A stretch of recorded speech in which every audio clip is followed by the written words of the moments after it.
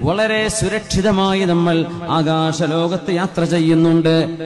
നമ്മൾ യാത്ര ചെയ്യുന്നു എത്ര സുരക്ഷിതമായി?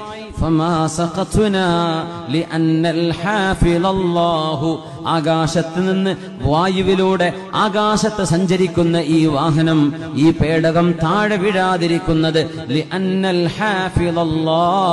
അള്ളാഹുവാണ് അതിന്റെ സംരക്ഷകൻ എന്നതുകൊണ്ട് തന്നെ പൈലറ്റ് രണ്ട് പൈലറ്റുമാർക്ക് ഒരേ സമയം എന്തും സംഭവിക്കാം. രണ്ട് പൈലറ്റുമാർ ഒരാൾക്ക് തളർച്ച വന്നാൽ അടുത്ത ആളുണ്ടെന്ന ധൈര്യത്തിലാണ് നമ്മൾ ഇരിക്കുന്നത്. രണ്ടുപേർക്കും ഒരുമിച്ച് അറ്റാക്ക് വരാം. അതൊരു പ്രോബബിലിറ്റി ഇല്ലേ?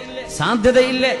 അള്ളാഹുവിന്റെ ആകാശലോകത്തെ എയർ പോക്കറ്റുകളുണ്ട് വായുസഞ്ചാരം കുറഞ്ഞ സ്ഥലങ്ങളുണ്ട്. ഫ്ലൈറ്റുകൾ പിടപെടക്കുന്നത് കാണുന്നില്ലേ. ചിലയിടങ്ങളിൽ എയർ ടർബുലൻസ് എന്നവർ പറയും ആരാണ് നിയന്ത്രിക്കുന്നത്? മെഷീൻ എഞ്ചിനുകൾ നമ്മൾ കണ്ടെത്തി അള്ളാഹു തൗഫീഖ് ചെയ്തപ്പോ അത് പറക്കണമെങ്കിൽ വായു വേണം. വായുവിനെ നിയന്ത്രിക്കുന്നത്